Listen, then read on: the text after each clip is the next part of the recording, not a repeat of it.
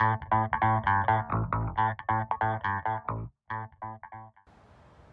guys, so today I'll be showing you how to replace the battery on a BMW 2012 535 which is also known as F10. So here's the bed and uh, to remove it here are two screws that you're gonna have to undo and uh, then this whole thing lifts up and you can get the battery exposed and then you can remove this piece too.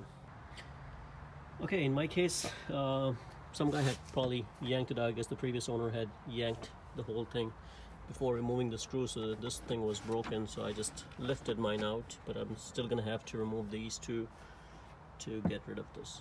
Okay so you can see I just lifted this whole thing up and the battery is exposed. There is this uh, ventilating tube that you're gonna have to just unplug from this battery.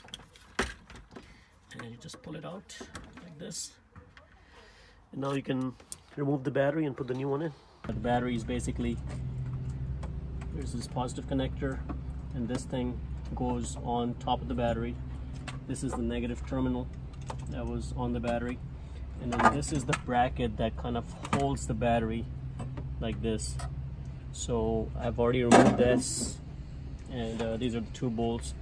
I'll be showing you how to install this backwards and uh, removing it is pretty much the same. Uh, this is the thing that holds the battery.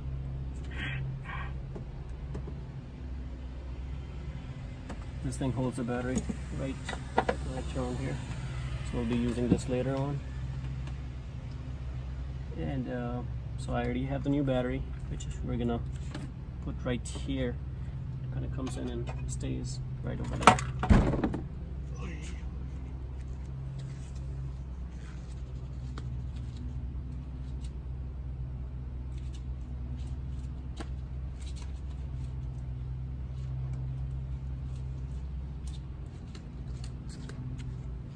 okay so this is the new battery that I got.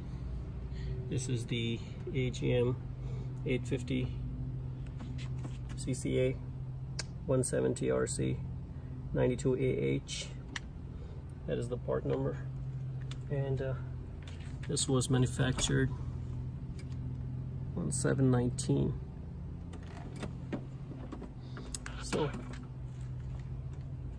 install this. We just put this down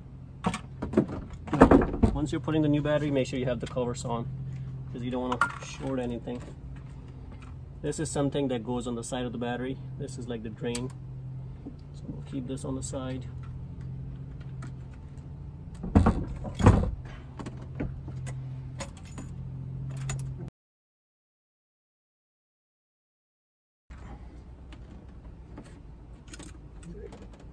Now the battery sitting, make sure the negative terminal is right here, the positive is right here.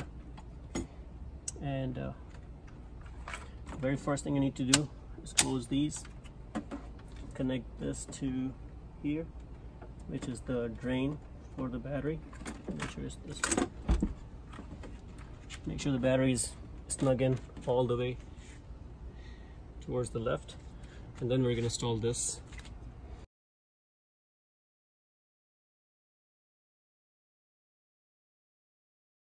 then we're to put this bracket on.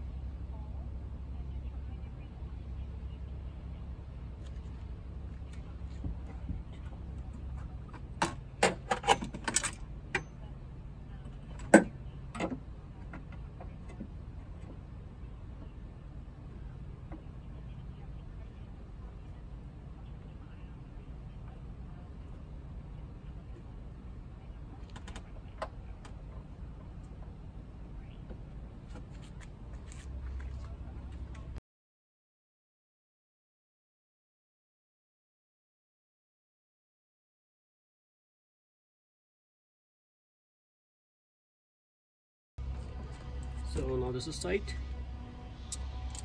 and uh, now we're going to install the negative and positive terminal. So for that we're going to remove the cap first. And uh, we're going to do the negative terminal at the very last. But first we're going to do the positive terminal. So since this is good we're going to go ahead and install this. And this goes on top I think this is the number 10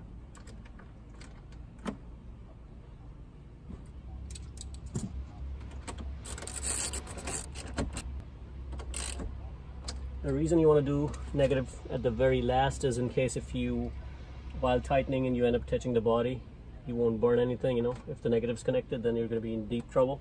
So always connect the negative at the very end. And uh, this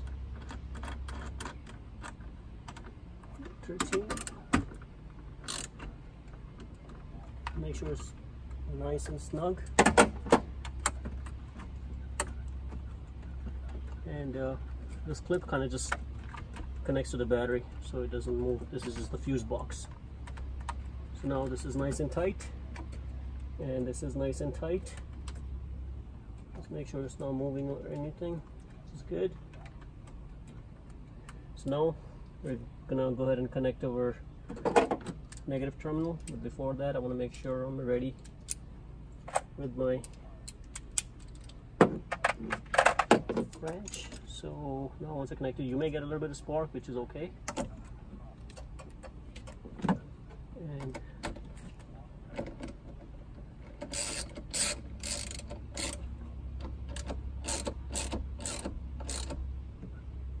there you go nice and tight.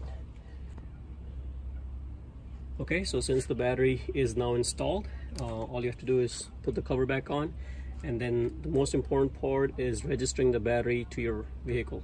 So that is something that we're going to be doing and I'll be showing you how to do that. Okay now I'm going to show you how to register the battery. So hoping you have this uh, connector OBD to Ethernet. We're going to not to start the engine but turn the ignition on like this. And uh, we're to see connection like this.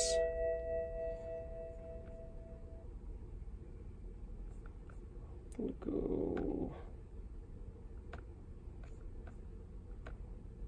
to operation, read out vehicle data, complete identification, and let this run. And right now it's communicating, so just give it a while. Okay, now you're gonna see this Ethernet. I'm gonna go ahead and click on this, set up connection and it's to read out your vehicle data give it some time okay now it's to start loading up the modules so let it load up the modules and you just have to be patient guys you know let it do its thing don't do not interrupt sometimes if you move this cable it disconnects you, you definitely don't want to do that. You know, put it somewhere so it's nice and steady.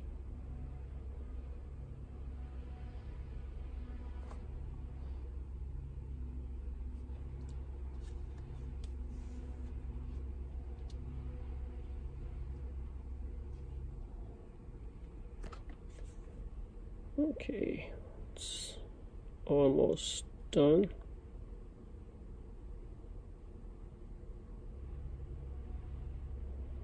It's logging fault memory in case if you have one.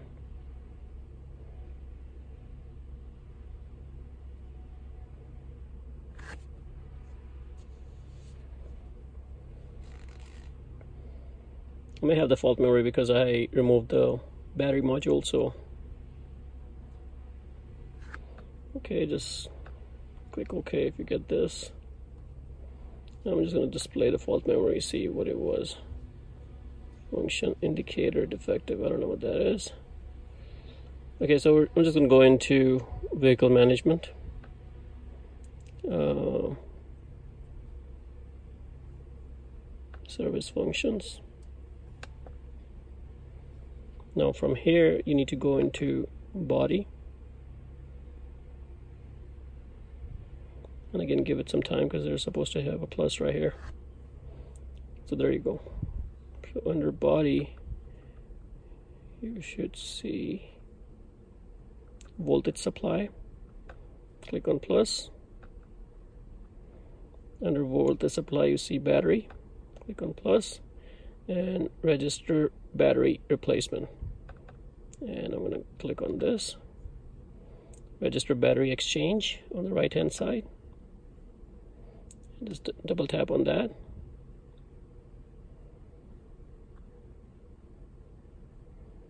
Saying please wait. And over here it kind of tells you brief description. Okay so display distance reading last battery exchange and one before last. And over here it kind of shows you when was the last battery replacement was done. But uh, what we need to do is uh, register battery exchange so this is the one I'm going to select and click continue. Okay in the next test step the battery exchange is entered. Engine off terminal 15 on. So engine is off and my ignition is on basically. Okay. Enter battery exchange same capacitor enter battery exchange higher lower capacity change change from normal lead acid to AGM so I think mine is exact same capacity it's not higher or lower. Sorry my camera died. All I had did was uh, click continue and then um, it did an hourglass and says battery exchange was successfully entered. To register new battery size or other battery type now carry out the following. Okay so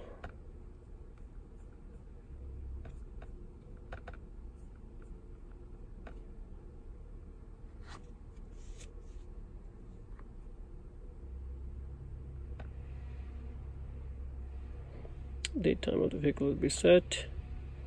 All you're doing is so it's registering today's date and time. Service function finished. And uh, that that is it guys. So basically all I did was came into register battery replacement register battery.